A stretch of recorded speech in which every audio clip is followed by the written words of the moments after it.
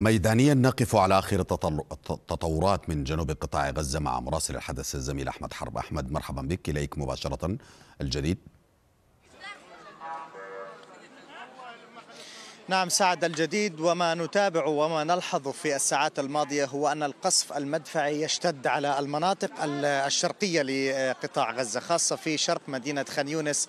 هذه المناطق تتعرض إلى قصف من المدفعية الإسرائيلية بشكل شديد وعنيف. أيضا في المحافظة الوسطى في شرق المغازي شرق البريج أيضا في شمال مخيم النصيرات وسط القطاع. هناك قصف من المدفعية الإسرائيلية بشكل شديد. المدفعية أيضا في المنطقة الشمالية لقطاع غزة تقصف منازل المواطنين والأراضي الزراعية الفارغة في هذه المناطق. أيضا هناك عمليات برية يقوم بها الجيش الإسرائيلي في مدينة خان يونس جنوب القطاع تتسع رقعة هذه العمليات في مناطق وبلوكات مختلفة في مدينة خان يونس خاصة في وسط مدينة خان يونس. هناك دبابات إسرائيلية هناك اشتباكات تدور على الأرض بشكل مركز ومكثف ما بين عناصر القسام والفصائل الفلسطينية الأخرى والجيش الإسرائيلي. أيضا هناك اشتباكات تدور في الجهة الشرقية لمدينة خان يونس في منطقة بني سهيلة القرارة منطقة الفخاري حي الشيخ ناصر. هذه المناطق تتعرض إلى اشتباكات عنيفة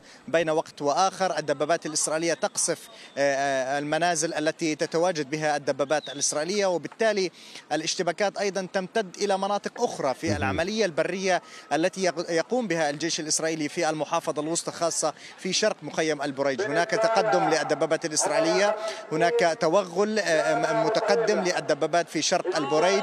هناك اشتباكات تدور على الأرض. الطائرات الحربية الإسرائيلية تقصف منازل المواطنين بشكل مركز. وأيضا في المنطقة الشمالية لقطاع غزة هناك اشتباكات هناك قصف من المدفعية الإسرائيلية وأيضا من الطائرات الحربية الإسرائيلية. الجديد هو أن في شمال مخيم النصيرات في منطقة المغراقة أيضا هناك اشتباكات وأيضا قصف من الطائرات الحربية الإسرائيلية. نعم. نعم أحمد أبدا نسأل عن أمرين. أولا الظلام الذي وراءك ما, ما سببه؟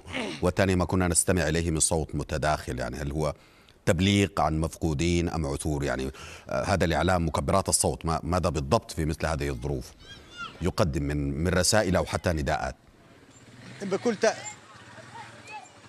نعم سعد الظلام الدامس هو بسبب انقطاع التيار الكهربائي بشكل كامل عن هذه المنطقة. نحن نستخدم المولدات الكهربائية ونستخدم أيضا الكهرباء التي تغذي المستشفى الذي بجانبنا. أيضا نستخدم الكهرباء من المستشفى نمد به أجهزة البث. أيضا بجانبنا أيضا هناك مسجد. قبل قليل أعلن عن فقدان طفلة هي في المسجد يعني تبليغ للأهالي ولسكان هذه المنطقة أن من يبحث يبحث عن طفلة هي الآن متواجدة في هذا المسجد وعليهم التوجه إليها سواء كان لأفراد أسرتهم أو لأقاربها نعم.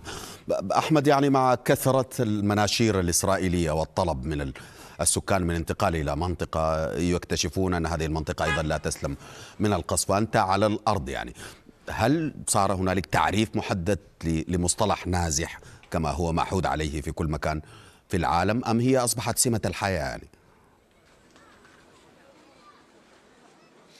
يعني كل المواطنين في قطاع غزة أصبحوا نازحين وأخذوا هذه الصفة وأصبح أيضا روتين حياة. نحن نتنقل من مكان إلى آخر. سعد كطواقم صحفية كمواطنين مر من هذا الشارع من أمامنا في الساعات الماضية عشرات السيارات التي تحمل البطانيات والأغطية وكل المواد الأساسية وكل شيء معهم في هذه السيارة. السيارة قادمين من مخيم النصيرات من المخيم الجديد الذي أمر الجيش الإسرائيلي سكانه بالإخلاء. وبالتالي هم ذاهبون من هنا باتجاه منطقة المواصي غرب رفح. وبالتالي نحن نتحدث عن حركة نزوح كبيرة. هناك تنقل أكثر من مرة لعائلات كثر. نحن تنقلنا أكثر من مكان حتى ننقل الرسالة والتغطية. وبالتالي عملية النزوح ما زالت مستمرة في كل يوم يكون هناك عملية نزوح. أيضا سعد أي منطقة يتم استهدافها من الطائرات الحربية الإسرائيلية.